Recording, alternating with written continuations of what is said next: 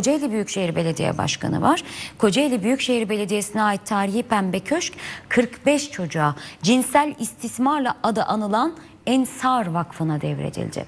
Devir törenine Cumhurbaşkanı Erdoğan'ın oğlu ve Ensar Vakfı'nın genel kurul üyesi olan Bilal Erdoğan da katıldı ve Bilal Erdoğan torpil ve yine devasa binaların bedelsiz tahsisiyle gündeme gelmiş olan TÜGVA ile ilgili de konuştu. Kurumlarımızı itibarsızlaştırmak istiyorlar dedi.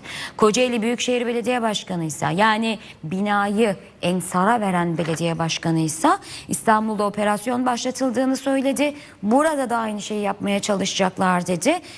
Bir eğer bir yer alırlarsa buradan söylüyorum iki yer vermeyen namerttir dedi.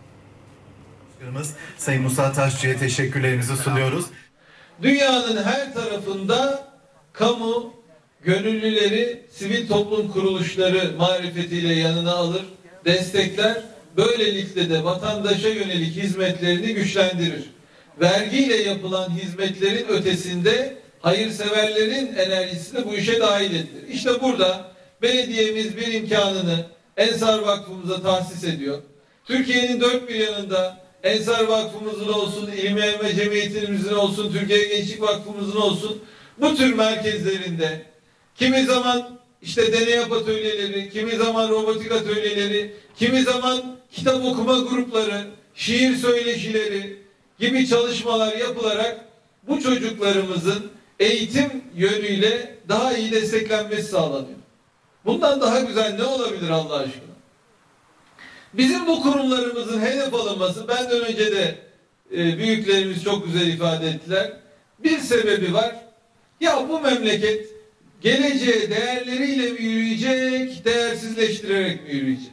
Biz buna karşı uyanık olmak zorundayız. Haberdar olmak zorundayız. Kendi doğru bildiğimiz değerlerimizin tahrip edilmesine izin vermemek zorundayız. Kurumlarımızın itibarsızlaştırılmasına müsaade etmemeliyiz. İşte Ensar Vakfı bir kurum. İlim Yayma Vakfı, İlim Yayma Cemiyeti bir kurum. İmam Hatipler bir kurum. Ülkemizin bir sürü böyle kurumları var. Yani emekle, imkanla, seferberlikle, gönüllülükle inşa edilmiş kurumlar. Bedri Yılmaz'ın yorumuna ek